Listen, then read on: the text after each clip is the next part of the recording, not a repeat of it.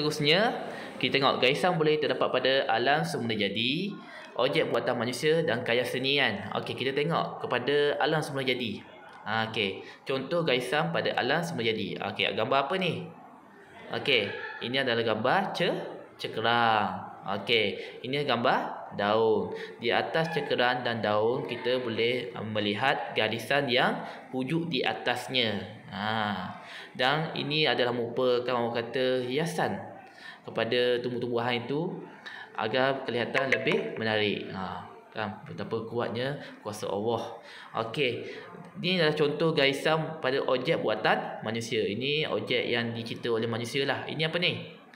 Ini adalah laluan kereta api. Ha okey tengok kita boleh nampak garisan dia tu. Ha ada memanjang kan ada lapisan-lapisan batu di bawahnya tu.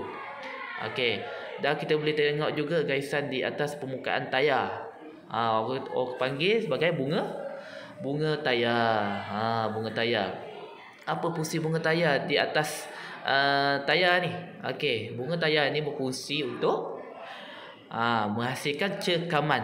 Ha, apabila dia bergerak. Okey, itu fungsi. Bukan suka-suka tau orang buat uh, corak-corak di atas tayar ni untuk cekang. Andai kata kalau dah botak, licin kan, tak ada apa-apa, kereta boleh ter tergelincir. Ha, okey.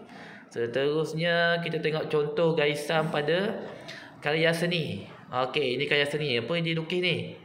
Ha, banyak ikan kan, berbagai-bagai jenis ikan yang ada. Ha, kita boleh tengok garisan apa yang dia telah gunakan. Ada garisan yang berombak, ada garisan lurus, garisan nipis, garisan putus-putus, ha, garisan titik-titik semua ada kita boleh tengok di sini. Okey. Ha ni kaya hitam putih ni.